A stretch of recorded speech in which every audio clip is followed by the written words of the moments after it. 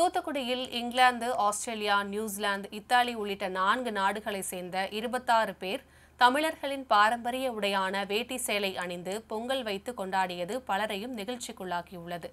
தமிழகத்தில் travel India என்ற அமைப்பு மூலம் ஆண்டுதோறும் வெளிநாடுகளை சேர்ந்தவர்கள் ஆட்டோ ரிக்ஷா மூலம் தமிழகத்தின் பல்வேறு பகுதிகளை சுற்றி பார்த்து வருகின்றனர்.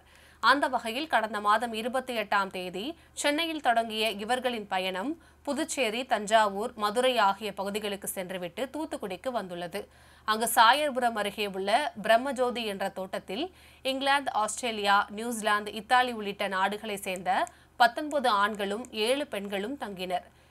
அவர்கள் அனைவரும் தமிழர்களின் பாரம்பரிய உடையான வேட்டி சேலை அணிந்து பொங்கல் வைத்து வழிபட்டனர்.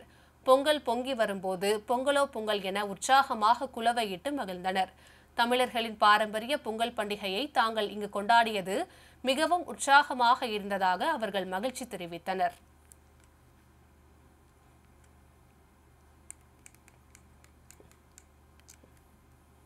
Today we're here on a family-run farm, experiencing the Pongal festival. Um, we get to wear traditional saris, and um, also George is wearing a traditional outfit.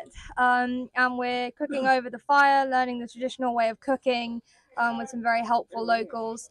Uh, getting to try all the nice spices that we don't get at home and different flavors. Um, so it's been a really great experience, and we're just really thankful to be here. Then uh, Indian people and